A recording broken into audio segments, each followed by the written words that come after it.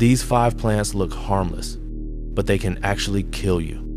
Let's begin, because one of them might be growing near your home. Number one, oleander.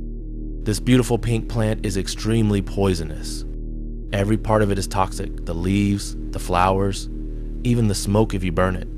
A small amount can stop your heart. Number two, deadly nightshade. Its shiny black berries look sweet, but don't be fooled. Just a few can shut down your nervous system and cause paralysis. Number three, water hemlock.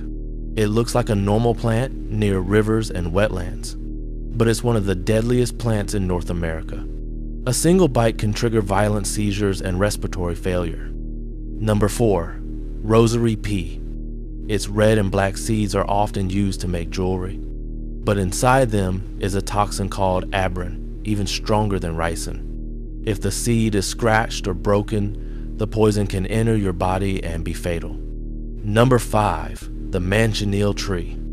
This tree is nicknamed the tree of death.